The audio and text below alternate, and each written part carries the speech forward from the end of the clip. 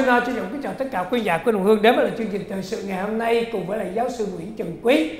Kính thưa quý giả của đồng hương trong tuần vừa qua thì chúng ta biết là có rất là nhiều chuyện nó lộn xộn xảy ra ở quốc ngoại cũng như tại quốc nội là bầu cử sơ bộ trong uh, ngày hôm qua nó đã xảy ra ở tại đây nhưng mà trước hết thì chúng tôi xin trân trọng kính chào giáo sư Nguyễn Trần Quý. Dạ, chúng tôi là Nguyễn Trần Quý xin kính chào quý khán giả Michael Hoàng. Vâng, à, thưa giáo sư Nguyễn Trần Quý, trong tuần vừa qua thì mình đã bước vào trong ngày thứ sáu của cái chiến tranh giữa Nga với lại Ukraine cũng như là ngày hôm qua là ngày bầu cử sơ bộ cũng đã được diễn ra ở nhiều tiểu bang. Tuy nhiên cái tiểu bang mà chúng ta đang chú ý nhiều nhất là tiểu bang quê nhà đó là thành phố Houston của Texas của chúng ta.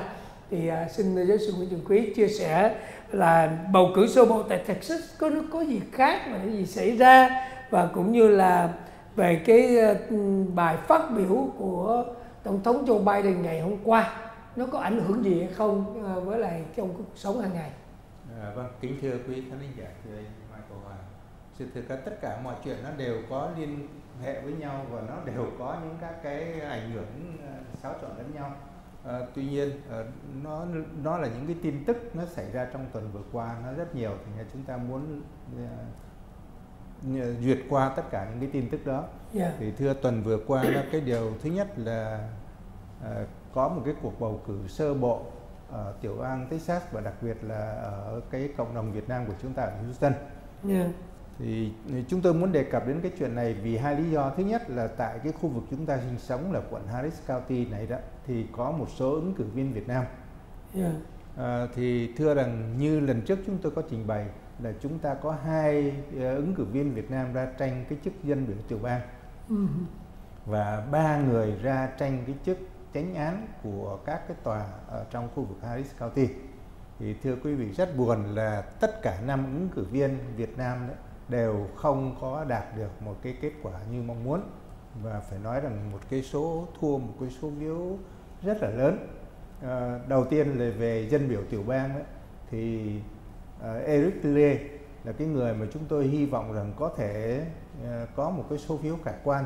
Nhưng mà rốt cuộc thì chúng ta cũng thấy rằng vì uh, Eric Lê phải đối diện với một ứng cử viên quá nặng ký của Đảng Cộng Hòa. Thành ra cái kết quả cuối cùng thì Eric Lê chỉ đạt được chừng độ khoảng tôi nghĩ rằng dưới 500 phiếu.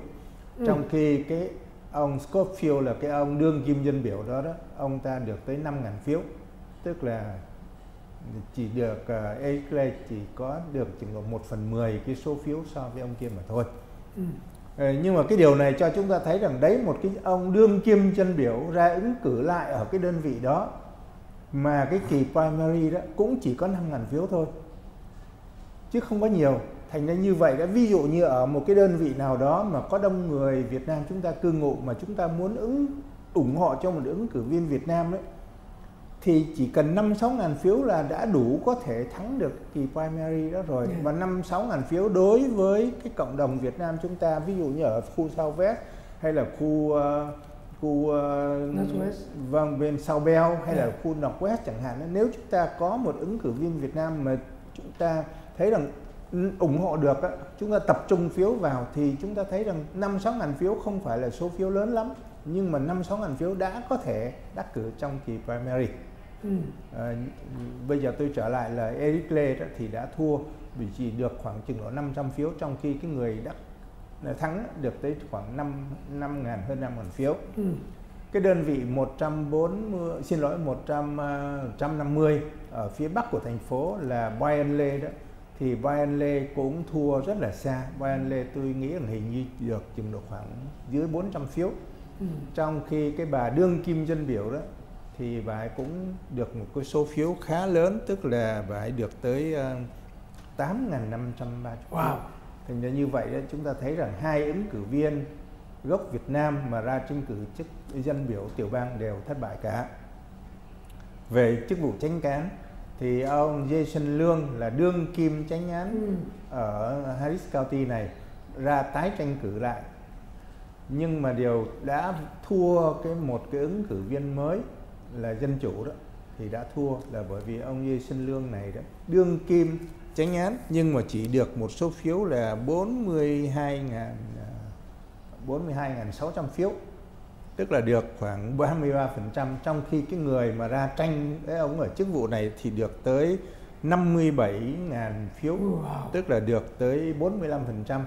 nhưng mà chúng ta thấy một người đương kim tranh án mà thua một cái người mới vào tới khoảng à, 12.000 phiếu. 12 thì như vậy chúng ta thấy rằng như vậy đấy cái việc mà mà mà có được cái sự nhiều người biết đến mình hay không là một cái vấn đề quan trọng lắm trong cái chuyện bầu cử. Yeah. rồi còn hai ứng cử viên mới của gốc Việt Nam để mà ra tranh cử tranh án là cô Thủy Lê đó thì cô Thủy Lê được một số phiếu tương đối khá. Cô Thủy Lê này được uh, một số phiếu là tới 36.000 phiếu. Wow. là được 28% nhưng mà cái người mà tranh đối thủ lại với cô Thủy Lê này đó, thì họ được tới 94.000 phiếu. Và như vậy là 72%. Như vậy chúng ta thấy rằng cô Thủy Lê này như tôi vừa nói bữa trước được cái sự uh, endorsement tức là được cái sự, sự ủng hộ. ủng hộ hứa ủng hộ đó của Ờ, rất nhiều những các cái tổ chức của người Mỹ da đen, bởi vì cái khu vực mà tranh cử này là nó nằm ở trong downtown, nó có nhiều ờ, người da đen hơn. Nhưng mà dù được cái sự ủng hộ đó nhưng mà cũng chỉ được 36 ngàn phiếu. Nhưng mà muốn đạt được thắng cử đó thì phải làm sao được trên 94 ngàn phiếu. Một cái con số cách xa cũng khá lớn. Một người nữa chúng tôi cũng mới tìm ra, tức là cô Tốt Lê cô Tốt Lê là một luật sư cũng quen biết với cộng đồng Việt Nam ở Houston nhưng mà cô ấy lại ứng cử ở dưới vùng Galveston. Thì thưa rằng ứng cử cũng ứng cử một chức vụ tranh án ở Galveston nhưng mà cũng đã bị thua. Cô Tốt Lê này chỉ được 4.200 phiếu trong khi cái người mà thắng được tới 21.000 phiếu tức là cái sự cách xa lệch uh, quá nhiều. Ừ. Ờ, thành ra như vậy chúng ta thấy rằng ba cái chức vụ tranh án mà người Việt chúng ta tranh ấy, đều không có thành công và hai cái chức vụ dân biểu tiểu bang cũng không thành công có thể nói rằng là trong cái kỳ bầu cử sơ bộ này tất cả những ứng cử viên gốc Việt của chúng ta không có đạt được cái à, kết quả như mong muốn. Tuy nhiên có một cái điều mà chúng tôi cũng muốn nói như thế này là cái à, về phía uh, uh, tiểu bang đấy thì cái ông Greg Abbott cũng vẫn được uh, endorse. endorse. Không phải vẫn vẫn được tái cử. Thắng vâng thắng ông ấy đã được uh, được một số phiếu khá lớn là một triệu hai. Trong khi bên phía dân chủ đó đưa ra cái ông uh, Beto Arok thì ông này được 900 mấy chục ngàn phiếu. Như vậy chúng ta thấy rằng cái những cái người ủng hộ cho những cái người cộng hòa đó ông Abbott là cộng hòa thì được một triệu hai còn những người dân chủ mà ừ, bầu cử đi bầu cử cho cái ứng cử viên dân cử của mình 900 ngàn.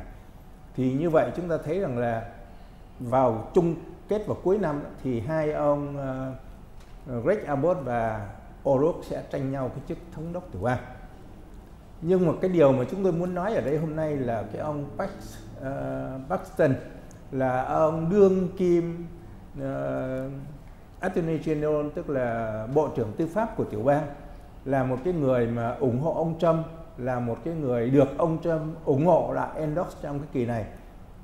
Kỳ này ông ta cũng thắng nhưng mà thắng với một cái số tương đối là ít. À, người ta tưởng rằng nếu mà được ông Trump ủng hộ như vậy thì cái số phiếu ông ta sẽ đạt cao. được nó sẽ là cao. Nhưng mà thực tế là ông ta chỉ đạt được có 40% số 43% số phiếu tức là được 800 ngàn. Trong khi ông uh, George Bush là cháu của tổng thống Bush á, thì ra ứng cử cũng cái chức vụ uh, Attorney General. Vâng, Attorney General đó, thì đạt được 428 ngàn phiếu. trưởng lý đó. Vâng, tức là được 23%, được một nửa cái số phiếu của ông Paxton. Cái điều mà ông George Bush này đạt được uh, một nửa cái số phiếu so với ông Paxton thì cái điều đó là chúng ta thấy không lạ bởi vì gia đình Bush ở đây họ rất là nhiều uy tín. Nhưng mà cái lạ của chúng ta là thế này là cái ông Paxton được cái sự ủng hộ từ trước bây giờ ông ta vẫn là cái người mà gọi là bảo thủ mạnh mẽ ừ. và ủng hộ những cái chính sách của ông Trump trước đây. Và kỳ này ông ra tranh cử thì được cái sự ủng hộ của ông Trump. Nhưng mà ông ta không vượt được quá 50% thì như vậy chứng tỏ rằng là cái sự ủng hộ của ông Trump dành cho một ứng cử viên nó mạnh nhưng mà không phải mạnh như người ta tưởng tức là có thể lấn át được tất cả mọi những cái số phiếu khác. Thưa giáo sư Nguyễn Trần Quý như vậy thì nói chung ra thì rất là buồn cho những người ứng cử viên gốc Việt của mình và đặc biệt là đương ờ, kim ờ, chánh án Jason Lương lại không được lọt vào để mà đi vào cái vòng tranh cuối năm. à, cuối năm này tuy nhiên nói về những cái con số như vậy đó liệu những người trong đảng cộng hòa có một cái gì gọi là thất vọng hay không bởi vì họ kỳ vọng quá nhiều trong cái kỳ giữa nhiệm kỳ này với lại các ừ, ừ, ứng cử viên của đảng cộng hòa nhưng mà lại con số không có được khả quan cho lắm à, không thưa uh, quý thính giả thưa anh Mai của Hòa sự thực đây là kỳ tranh primary thôi yeah. Dạ. tức là chỉ tranh trong đảng cộng hòa với nhau tranh trong đảng dân chủ yeah, vâng, với nhau yeah. Dạ. cái chuyện thắng thua kỳ này nó chưa phải là cái chuyện kết thúc nhưng mà có một điều tôi chỉ muốn nói ở đây ấy, là bên cộng hòa họ vẫn cảm thấy rằng có thể họ sáng thắng chứ à, okay. nhưng mà riêng riêng trong cái kỳ này đó để cho thấy rằng giữa cái ông Troy Bush Bush là cháu của ông tổng thống Bush cha ừ. đó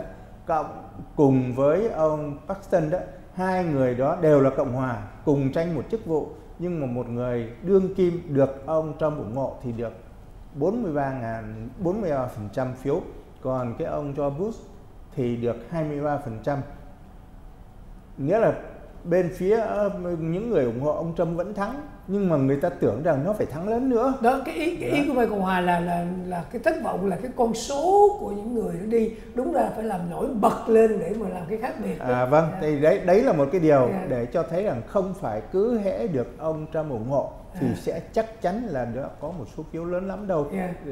nghĩa là cũng được một số phiếu lớn nhưng mà chưa phải là lớn như người ta suy nghĩ để làm gì điều gì để cho thấy rằng những ứng cử viên vào cuối năm nay đó cũng phải dè chừng tức là ngoài dù có được ông Trump ủng hộ rồi vẫn phải có một cái sự vận động mạnh mẽ để có được những cái số phiếu của những người độc lập và ừ. nhất là của những người ủng uh, cộng hòa mà không thích ông Trump làm sao họ phải ủng hộ mình nữa. Yeah. Yeah. Trong cái kỳ mà năm nay đó bỏ phiếu nó cũng có rất là nhiều cái sự lộn xộn. Riêng ở tại Harris là bởi vì những cái máy mới có lẽ là nhiều người cũng chưa có quen để mà quay rồi, rồi chấm cái tên những người. Và cũng cũng rất là khó cho những cái người bắt đầu đi bầu lần đầu tiên mà khi mà nó đổi đó nó gọi là redistricting. Nó đổi những cái cái khu khu vực. Có nhiều người cũng chưa tìm ra cái chỗ của mình.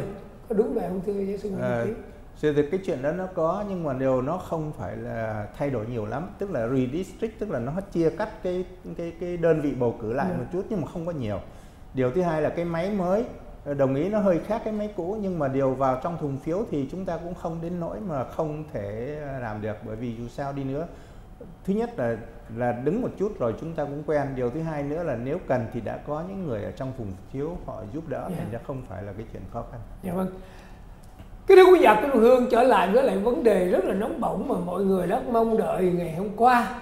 Khi mà ngồi để mình lắng nghe tổng thống the State of the Union để mà báo cáo tình hình cũng như là nói trong cái cái ngày mà ngay cái à, nhiều tiểu bang có một cái sự bầu cử như sơ bộ đó. Thì uh, theo giáo sư Nguyễn Trần Quý và um, những cái uh, tài liệu mà giáo sư Nguyễn Trần Quý đã đọc sau cái, cái cuộc nói chuyện của tổng thống đó có khả quan lắm hay không? Rồi à, có một cái gì gọi là đoàn kết giữa lộn xộn đảng dân chủ đã có hai ba phe đảng cộng hòa như vậy thì có cái gì khả quan không thưa à, vâng kính thưa quý khán giả thưa anh Michael Hoa. Hôm qua chúng tôi có nghe cái bài uh, diễn văn cái gọi là cái thông điệp của tổng thống đó thì thưa rằng cái cái thông điệp của tổng thống vào cái tình trạng liên bang này mỗi năm thì gần như nguyên tắc là để trình bày cho quốc dân biết những cái điều mình đã làm và đồng thời cũng để cho quốc dân biết rằng những cái chương trình trong cái năm sắp tới đó là cái nguyên tắc nhưng mà thực ra gần như tất cả các tổng thống đều dùng cái bài diễn văn này để mà uh, kể công những cái công việc mình đã làm trong quá khứ ừ. đồng thời cũng để bào chữa nếu mình có những cái gì sai sót thì đấy là cái chuyện thực tế nó là như vậy.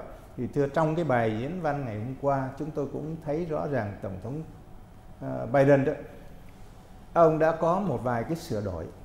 Cái sửa đổi thứ nhất là bên cộng hòa cũng như là dư luận nói chung từ trước đến giờ vẫn nói rằng đảng dân chủ là yêu cầu sửa đổi bỏ tiền không có cho tiền và sửa đổi lại cái cơ quan cảnh sát ở các nơi. Ừ. mà ờ, trong chính những người biểu tình trước đây cũng như là báo chí và cũng như thực tế chúng ta biết là bên phía dân chủ một số lớn đòi đi phân cảnh sát, tức là đòi giảm cái tiền cho cảnh sát. Thì ngày hôm qua chúng ta thấy rằng ông Biden đã nói lại rằng cái câu trả lời không phải là đi phân cảnh sát, mà phải là phân đinh cho cảnh sát, tức là phải phải phải phải uh, có nhiều ngân sách tăng thêm ngân sách cho cảnh sát và huấn luyện cảnh sát để cho họ có thể uh, làm an ninh cho cộng đồng. Thì ừ. đấy là một cái điều mà ông đã sửa đổi lại cái chính sách của ông. Hay là ít nhất là sửa đổi lại cái dư luận đã cho rằng đảng dân chủ đi phân cảnh sát. Cái điều thứ hai là ông uh, Biden cũng muốn sửa lại một cái điều nữa là cái vấn đề uh, uh, lạm phát.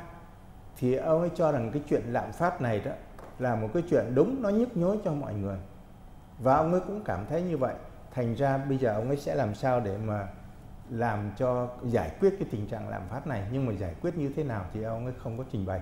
Tức là ngày hôm qua chúng ta thấy rằng những cái điều mà dư luận nói chung đang cho rằng sẽ ảnh hưởng đến cuộc bầu cử cuối năm làm thiệt hại cho đảng dân chủ là vấn đề lạm phát vấn đề covid vấn đề ờ, đi phân cảnh sát. Thì hai ba vấn đề đó ông Biden cố gắng để giải thích rằng ông ta có một cái sự thay đổi lại để mà làm cho nó nó nó trung hòa trở lại. Thì khi ông ấy sửa đổi cái chính sách như vậy đó, là một cái điều hay là bởi vì chúng ta đúng bất cứ nước nào hay là thành phố nào hay là ở đâu cũng thế phải có một cái cơ quan thực thi pháp luật thì mới giữ cho không có những chuyện trộm cắp hay là không có những cái tội ác xảy ra. Mà bây giờ nếu bỏ cái hệ thống cảnh sát đi thì cái chuyện đó là sai.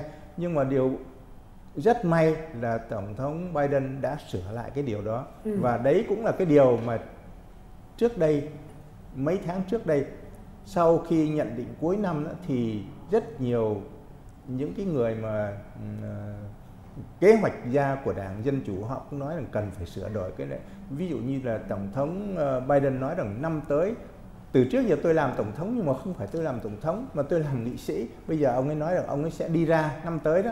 Michael họ còn nhớ yeah. Dạ. ông ấy năm tới tôi sẽ đi ra nhiều hơn gặp nhiều hơn để nghe ngóng nhiều hơn. Thì thưa quả thực thì từ sau đó giờ chúng ta thấy ông ấy đi ra ngoài ông nói nhiều hơn. Và điều nữa là họ nói rằng từ trước giờ ông ta không có nói những cái điều mà ông ta muốn làm mà cứ âm thầm thôi thì thưa quý vị từ đó đến giờ chúng ta thấy ông ấy đã nói rất nhiều về những kế hoạch này kế hoạch nọ vân vân tức là có một cái sự sửa đổi lại. Ê, nhưng mà thưa quý vị là trong cái bài diễn văn ngày hôm qua chúng ta thấy rằng một phần ba thời gian ờ, khoảng 60 phút cả các bài diễn văn là 60 phút nhưng mà một phần ba thời gian tức là khoảng 20 phần trăm để nói về cái cuộc chiến tranh ở Ukraine vâng. Thì đây là một cái bài diễn văn mà tôi nghĩ rằng là ông Biden nó sửa lại vào phút chót là bởi vì có cái tình trạng của ai, uh, Ukraine nó xảy ra. Thành ra chúng ta thấy đã có một sự chuẩn bị và chuẩn bị cũng khá kỹ lưỡng. Điều thứ nhất là một số những uh, dân biểu nghị sĩ dân chủ họ đã mặc áo xanh hoặc áo vàng. Đấy là cái màu cờ của Ukraine. Ừ. điều thứ hai là tôi nghe nói là đã có những cái lá cờ của Ukraine được phát cho một số người ở trong hội trường. Và tôi có thấy một số người mang ở trên ờ, trên trên trên áo. Và thứ ba nữa là có mời bà đại sứ của ừ. Ukraine tại Mỹ đến tòa bạch ốc để cùng đi xe với tổng thống với gia đình tổng thống để mà đi sang quốc hội trong cái bài đọc diễn văn này. Tức là họ bên tổng thống Biden muốn có lẽ sửa lại cái lỗi của mình hay là cái điều khiếm khuyết của mình là trước đây đã nói rằng cái cuộc chiến của bên uh, Ukraine thì Mỹ không có can dự vào bằng quân sự mà chỉ có thể giúp đỡ bằng uh, phương tiện này phương tiện khác và đồng thời cấm vận mà thôi. Và nhất nữa là một cái lỗi rất là lớn tức là ông đã đề nghị giúp cho tổng thống uh, của Afghanistan ra đi khỏi nước nếu mà cái tình trạng nó xảy ra và sau đó thì đã bị ông tổng thống Zelensky của Ukraine, Ukraine trả lời rằng là chúng tôi cần đạn súng đạn chứ chúng tôi không có cần một cái, cái cuộc để mà giúp cho chúng tôi di tản. Thì thưa quý vị cái điều đó cho chúng ta thấy rằng là đấy là một cái lỗi của của ông Biden đã nói ra cái điều đó. Thành ra nhưng mà điều hôm qua thì ông đã sửa lại bằng cách là tất cả tập trung vào cái chuyện ca tụng cái cuộc chiến của những cái người dân Ukraine của chính phủ Ukraine và đồng thời để chỉ trích ông tổng thống ờ, Putin của Nga và nói lên những cái sự giúp đỡ của uh, Mỹ và một phần nào không có trực tiếp nhưng mà gián tiếp thấy rằng ông Biden, ông ờ, Biden hình như kể công rằng đã có cái công liên kết được cái đồng minh Âu Châu trong cái sự đoàn kết nhất trí để mà chống lại với cái cuộc xâm lăng của Nga. Dạ. Đó. Cái quý giả của Hương đang theo dõi chương trình thời sự ngày hôm nay cùng với là giáo sư Nguyễn Trần Quý, vừa mới chia sẻ cái tình hình ừ, của cái ờ, buổi bầu cử ờ, sơ bộ ở tại ờ, Texas nói riêng và nói chung có một số tiểu bang, nhưng mà đặc biệt là ở tại Texas này và cũng như là những cái tình hình mà đang diễn biến xảy ra ở tại Ukraine. Và cái bài phát biểu của ngày hôm qua của tổng thống Joe Biden. Xin uh, quý vị khi dẫn đừng rời uh, chương trình chúng tôi sẽ trở lại cùng với giáo sư Nguyễn Trần Quý uh, trong phần thứ hai.